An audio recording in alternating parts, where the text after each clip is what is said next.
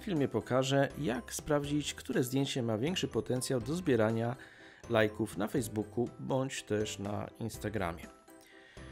W tym celu posłużymy się wynikiem opisanym w pracy Intrinsic Image Popularity Assessment, w której autorzy rozdzielają ocenę zdjęcia od oceny opisu tego zdjęcia, czyli postu.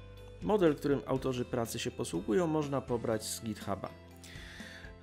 Użyję tu narzędzia kolaboratory od Google'a, które pozwala łatwo programować w Pythonie i nie tylko.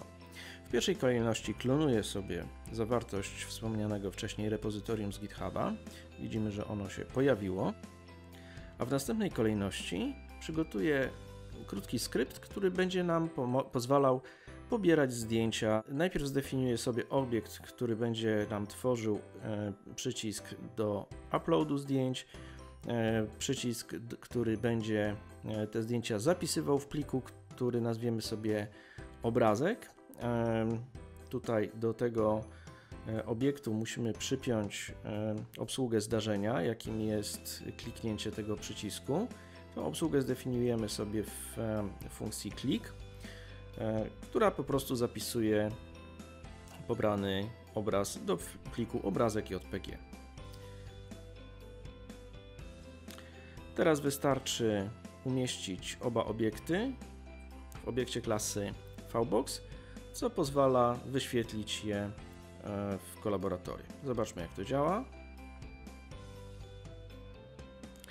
Teraz możemy już uploadować nasze zdjęcia. Prześlijmy pierwsze z nich. No i teraz widzimy, że ono pojawiło się już na danej maszynie. Będziemy chcieli je wyświetlić przy pomocy OpenCV oraz patcha dostarczonego przez Google, e, który pozwala wyświetlać obrazki wczytane przy pomocy OpenCV w kolaboratorium. Widzimy, że obrazek nam się ładnie wyświetlił. No teraz trzeba wykorzystać kod, który dostarczyli autorzy wspomnianej wcześniej pracy. Skrypt, który wywołuje ten kod, znajduje się w innym folderze niż ten, w którym domyślnie jesteśmy. Więc musimy przejść do tego folderu eee, no i wskazać nasz obrazek jako eee, źródło, z którego skrypt ma korzystać. Widzimy, że w przypadku tego obrazka dostaliśmy tak zwany score na poziomie 3,5. Dla drugiego zdjęcia otrzymujemy ten score na niższym poziomie 2,4, co oznacza, że ma ono mniejszy potencjał do zbierania lajków.